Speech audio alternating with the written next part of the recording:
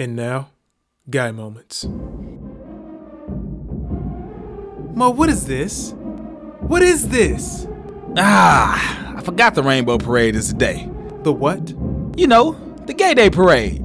These motherfuckers get their own day now? Yeah, what's wrong with that? What you mean, what's wrong? Every time I look up, there's some gay shit going on. They already forced us to marry their little happy asses.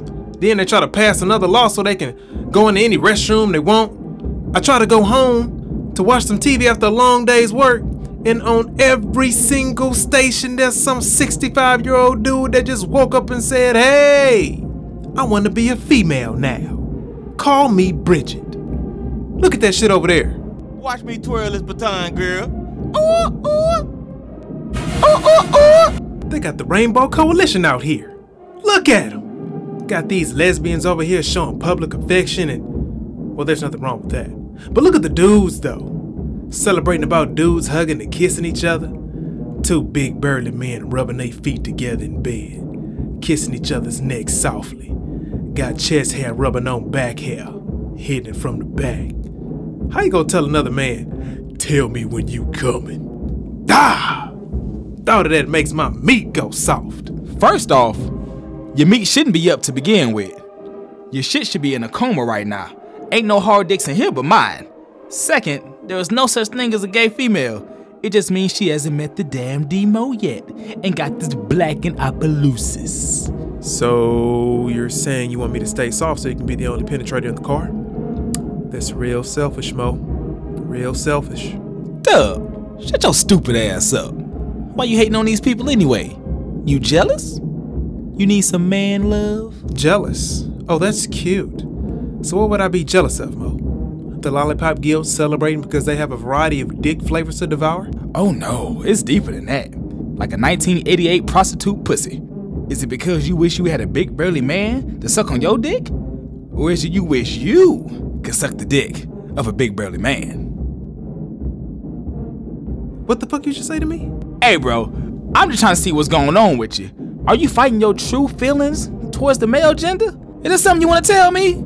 Yes, Moe. There is. Fuck you. Look, dog, to be honest, you need to be out there supporting that.